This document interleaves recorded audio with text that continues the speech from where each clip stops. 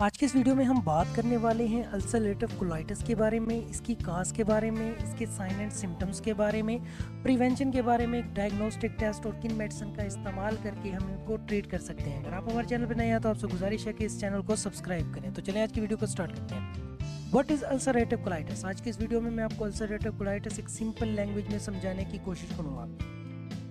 अब नाम पे तवज्जो करें कि अल्सर रेट, अल्सर उस चीज़ को कहा जाता है जो चीज़ डैमेज हो चुकी है। जैसा कि हमने स्टोमिक अल्सर देखा था, गैस्ट्रिक अल्सर देखा था, स्टोमिक के अंदर वाली दीवारें जो लाइनिंग है वो डैमेज होना स्टार्ट हो जाती हैं, उसको कहा जाता है अल्सर। किस डैमेज होने को कहा जाता है अल्सर? और कोलाइटिस कहा जाता है कोलोन और रेक्टम को। जब कोलोन और रेक्टम डैमेज हो जाते हैं तो उस कंडीशन को अल्सरेटिव कोलाइटिस कहा जाता है।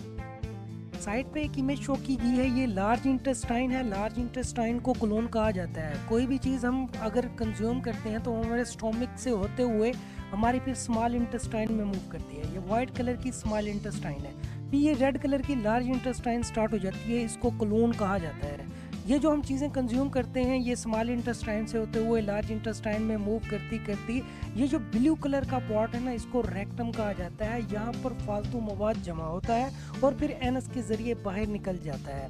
जब किसी बैक्टीरिया या इन्फेक्शन की वजह से ये रेक्टम और ये लार्ज इंटेस्टाइन जो कलून है इफ़ेक्ट हो जाती है, इसमें इन्फ्लेमेशन आ जाती है रेडनेस आ जाएगी और इनकी जो अंदर वाली दीवारें हैं, वो अल्सर की वजह से डैमेज हो जाएँगी तो उस कंडीशन को अल्सरेटिव कोलाइटिस कहा जाता है, जो कि पेन काज करती है, ये कॉन्स्टिपेशन भी काज कर सकती है, क्योंकि ये अपना प्रॉपर तरीके से काम सर नहीं दे रही, इनकी फंक्शनैलिटी ख़त्म हो चुकी है। काजेज ऑफ़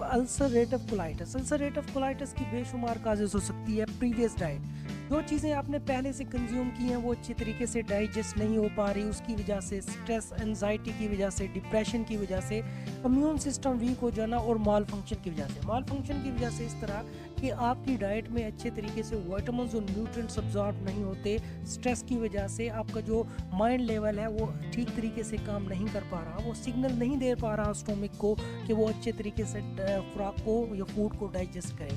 तो डिप्रेस एक ऐसा चैनल है जिसके ऊपर नेचुरल चीज़ों को स्टडी किया जाता है। अगर आप चाहें तो विज़िट कर सकते हैं लिंक डिस्क्रिप्शन में मिल जाएगा। अब हम बात करते हैं साइन एंड सिम्टम्स डायरिया हो सकता है और ना डायरिया के अंदर जो आपका पखाना बाहर निकल रहा है, उसमें ब्लड भी आ सकता है पस भी आ सकता है। क्योंकि आपका रेक्टम जो है ना, वो इन्फेक्टेड हो चुका है इन्फ्लेम्ड हो चुका है। इसके अलावा एब्डोमिनल पेन और क्रैम्पिंग हो सकती है। पेन के अंदर, पेट के अंदर क्रैम्पिंग हो जाएगी बाज़ात रेक्टम रेक्टम के अंदर एनस के अंदर पेन हो सकता है और इसके अलावा जो उसकी फंक्शनैलिटी है वो कम हो जाएगी और ये पेन रेडिएट भी कर सकता है। आपके लो बैक की तरफ़, आपके लेग्स की तरफ़, इसके अलावा वेट लॉस हो सकता है फटीक हो सकती है, पूरी बॉडी आपका थका हुआ महसूस होगा। तो ये चीज़ें हो सकती हैं।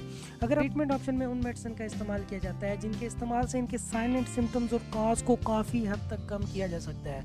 क्योंकि प्रीन शामिल है, एजिथ्रोप्रीन और साइक्लोप्रीन ऐसी मेडिकेशन हैं जो कि हमारे डाइजेस्टिव सिस्टम को इम्प्रूव करते हैं। उनके पेन को कम करेंगे, उनके साइन एंड सिम्टम्स को कम करेंगे और उनकी फंक्शनैलिटी को इम्प्रूव करेंगे। तो इन मेडिसिन का इस्तेमाल करके हम अच्छे तरीके से इनके साइन एंड सिम्टम्स और काज को काफ़ी हद तक कम कर सकते हैं। अगर आप हमारे चैनल पर नए हैं तो आपसे गुजारिश है कि इस चैनल को सब्सक्राइब करें, क्योंकि इसके ऊपर डिज़ीज़ मेडिसिन को डिटेल के साथ स्टडी किया जाता है।